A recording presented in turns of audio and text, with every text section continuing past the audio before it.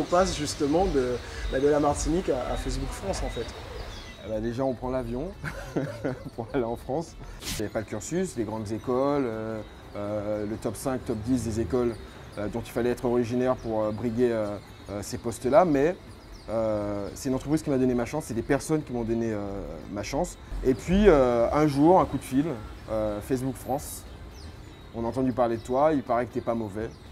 Est-ce que tu veux nous rejoindre? J'aimerais que la Martinique et les Martiniquais soient pionniers. Pionniers dans cette transition digitale. Autant un, crépier au marin qui aurait envie que toute la Martinique sache qu'il existe, que euh, une marque de chocolat qu'on consomme nous Martiniquais depuis une vingtaine d'années et qui a la sensation qu'à l'export euh, euh, il pourra avoir du succès.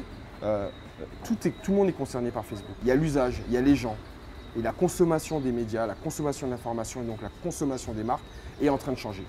Si j'ai un, rêve euh, aujourd'hui, et j'espère qu'on le bâtira ensemble, euh, c'est que les talents martiniquais soient des locomotives pour la France et éventuellement pour le monde entier.